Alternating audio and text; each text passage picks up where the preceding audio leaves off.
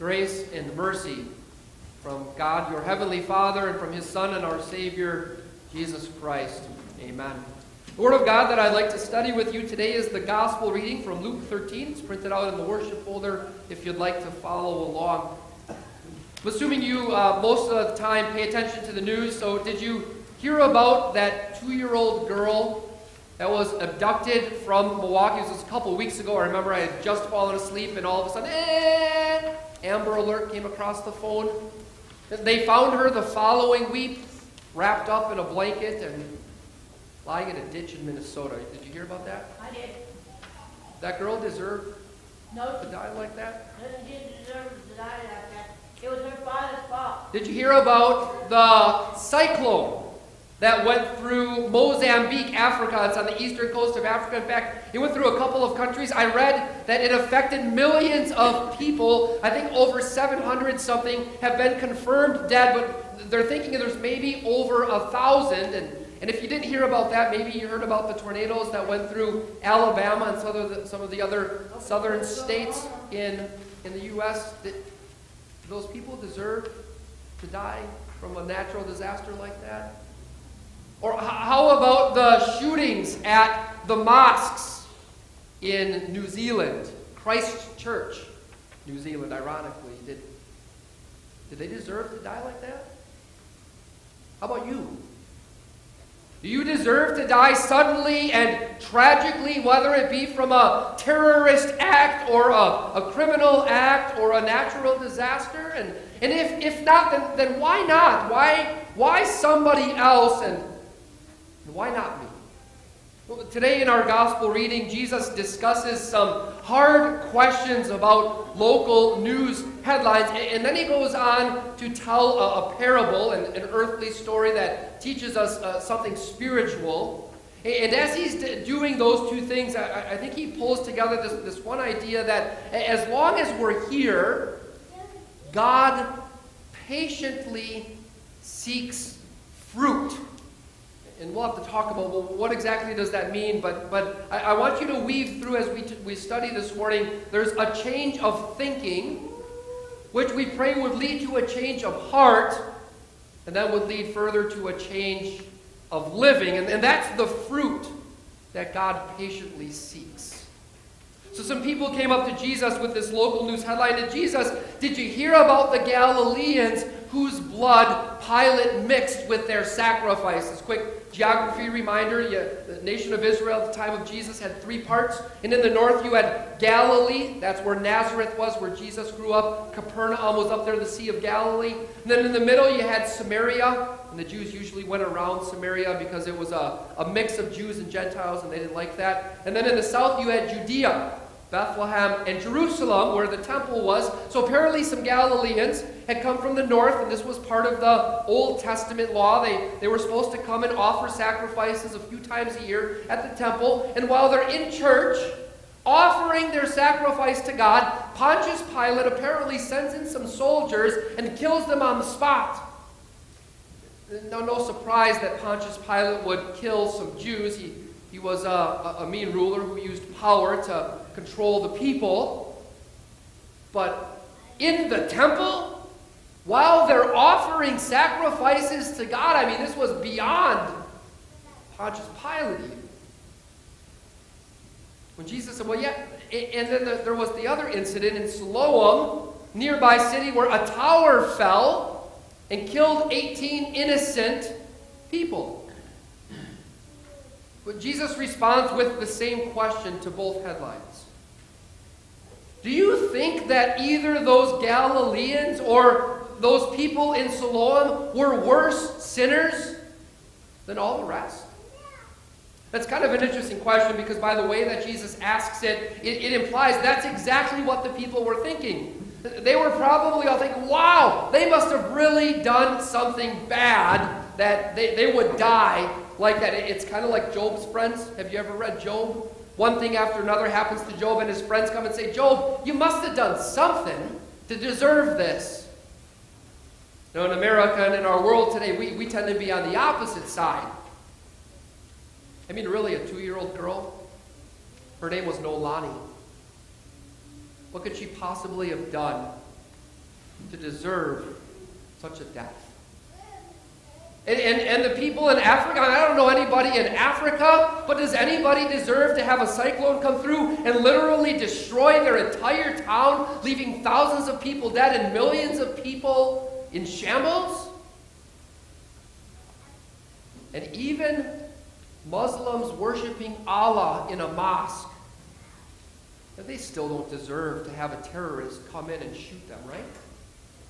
So we, we tend to give everybody the benefit of the doubt and say, well, nobody deserves that. Well, actually, it's not nobody because if you had heard, this didn't happen, but, but what if you had heard that the man who killed the two year old girl who had killed her mother, I think the week or two before, what if he had died on the way to the police? What would you say? Most people would say, well, he deserved it.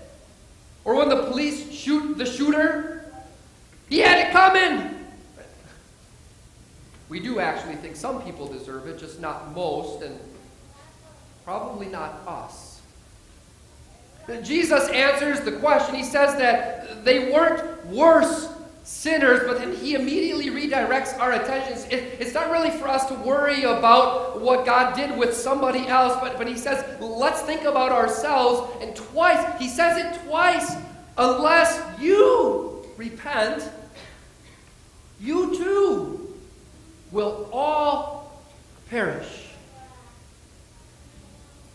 Let's be clear about the way that God deals with people. Whenever an unbeliever dies, regardless of age or circumstance, it's always judgment. Whenever a believer dies, regardless of age or circumstance, it's always deliverance. Now, I don't know about this two year old girl, but, but let's suppose that she had been baptized.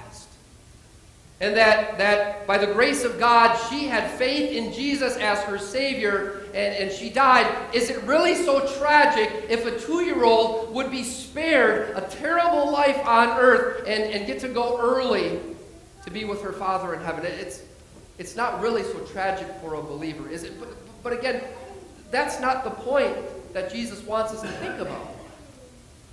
It's us. The reality is, as Sophia told us, we all deserve death. We all deserve suffering. We even deserve hell. And this is where we need a change of thinking. And it's really hard in our world today where we're t- constantly told what we deserve and rights and this and that and the other thing. And the reality is, is because of our sin, we don't deserve anything good. God has every right at any time to end our time on earth and even to condemn us. That means that every second, minute, hour, day, week, year that God allows us to stay is patient on God's part. He patiently seeks fruit. So then Jesus tells this story. It's about a man who owned a vineyard, right? A little bit more than a garden, a, little bit bigger area than that. And, and I don't know about everything he was growing in there, but Jesus says, but he had this one fig tree. And he planted the fig tree, and, and, and he was patient he understood you can't plant a tree and then, and then get fruit right away, but so he gave it a little bit of time. He waited a year. And he came back and he said, oh, I wonder if there's any fruit on my fig tree. And he looked, no, not yet, but it's only been a year. Okay, give it a little bit more time. And he came back the second year, probably a little bit more excited, like, it's been two years. There really should be fruit now. And he came, oh, disappointed. No fruit. This should be, uh, okay. Maybe it's just a late bloomer. Give it another year. come back next year. He comes back the third year, and there's still no fruit. Now his patience has run out. Cut it down. Why should it use up the soil? That's enough.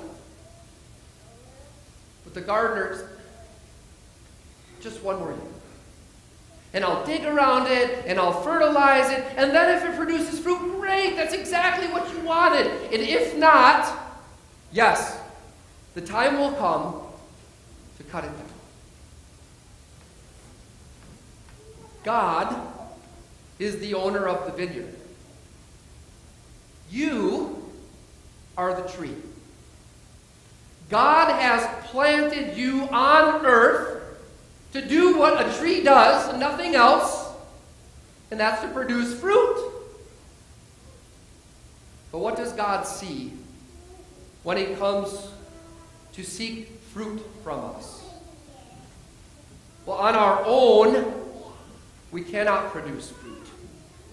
Because from the time that we are planted, from the time that we are conceived and born, our tree has been poisoned with sin. And all we produce is more sin. It's greed, it's lust, it's anger, it's discontent. And our fruit, if it comes out at all, it's tiny and it's withered and it's rotting inside and it's full of worms and insects. And there's nothing good. But God is patient, He waits. The only problem is that, that God can wait forever. And unless something changes, we on our own would never have been able to produce any big, fat, juicy, lush fruit that is pleasing to God. And so at any time, He can say, chop it down, put it on the pile for burning. But the gardener steps in. Jesus said, No, no, no, no, wait! Let me do some work. And before Jesus ever comes to work on our tree, on our lives, he becomes a tree himself. Jesus offers to be uprooted from heaven and planted on earth so that he can produce the fruit that God so patiently seeks. And yes, even with Jesus, the Son of God, God has to give him a little bit of time, right? That, that's what we think about right after Christmas. Jesus has to grow up. And I always love the story when Jesus is 12 and he goes to the temple and he's learning God's word and he's teaching God's word. And, and then when he goes home, it, it, the Bible says, and he grew in wisdom and in stature and in favor with men and with God. Jesus was learning, he, he was blossoming. And by the time he was 30 and he began his ministry, he had produced fruit. And when God the Father came looking for fruit on Jesus' tree, all he could say, and he said it twice This is my son. I love him. With him I am well pleased. Jesus, no anger, no greed, no lust, no malcontent, just perfect, green, juicy, lush fruit. Everything God could have wanted. And yet, the command still comes chop it down put it on the pile for burning. Wasn't fair. But Jesus offered to take our place as if he was the tree that produced no fruit. In fact, while Jesus was on earth, there was another tree growing that was chopped down and hewn and shaped and fashioned into a cross. And God hung his son there, where he suffered the burning wrath of our sin.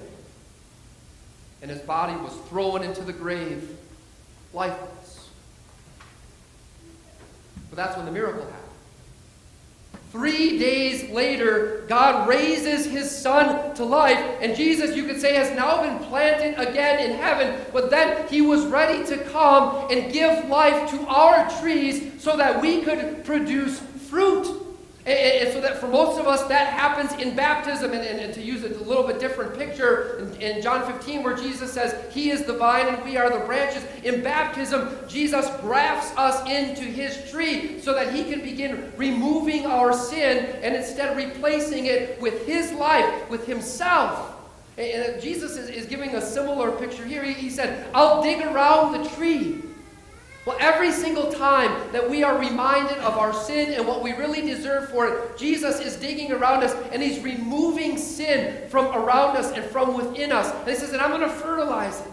So every time we hear that Jesus lived for us and died for us and rose from the dead, that he forgives our sins and promises us eternal life, he's filling our tree with his life. So that now when God comes and he looks to see if there's any fruit on his trees, on you, he finds it. He finds people who now have faith that Jesus is God and Savior. He finds people who will come every single week to hear God speak to them and, to take away their sin and fill them with His life and to worship Him in song and in prayer. He, he sees people who go out and seek to love others in the way that God has loved us, and He is pleased. As long as we're here, planted on this earth, we need Jesus to keep digging and keep fertilizing. And the more He does that, the more we hear God's word, the more we will produce fruit that is pleasing to God. And the last thought then is what does that look like? As soon as God makes you a healthy, fruit producing tree, you're able to now work with Jesus to help other trees. And that starts at home. It starts with moms and dads who bring their children to baptism, who bring them to worship, squirming and crying as they might be, who bring them to family impressions, who sit at home and, and again with the squirming kids, read God's word with them and pray and teach them so that Jesus can dig around their hearts and fertilize their hearts and produce fruit in them too. And then when your family is all full and strong and healthy, fruit producing trees, now you can go out and help others couple easy ways to do that this next week or two. Saturday, and I'm putting in my shameless plug, we're handing out invitations to come to Easter worship.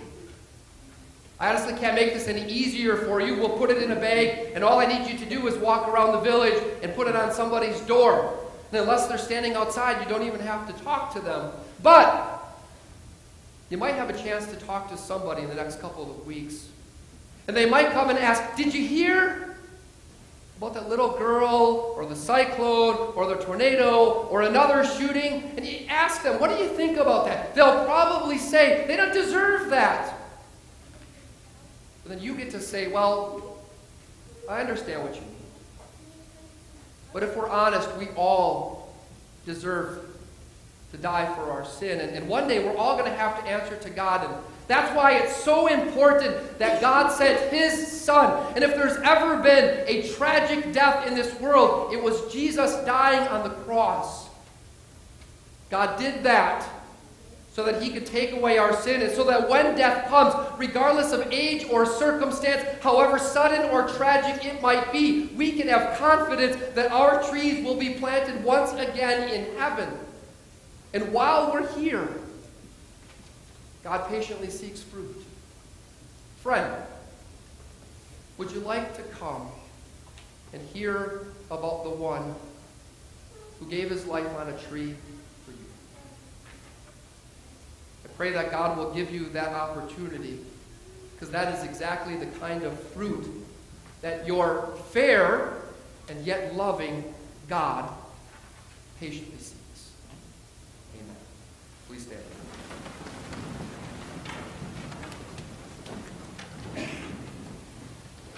The peace of God transcends all human understanding. It will guard your hearts and minds in true faith unto life everlasting.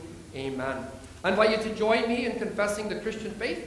Today we'll use the Apostles' Creed. The words are on the screen if you need them. I believe in God, the Father Almighty, maker of heaven and earth. I believe in Jesus Christ, his only Son, our Lord who was conceived by the Holy Spirit, born of the Virgin Mary, suffered under Pontius Pilate, was crucified, died, and was buried. He descended into hell. The third day he rose again from the dead. He ascended into heaven and is seated at the right hand of God the Father Almighty. From there he will come to judge the living and the dead. I believe in the Holy Spirit, the holy Christian church, the communion of saints, the forgiveness of sins, the resurrection of the body, and the life everlasting. Amen.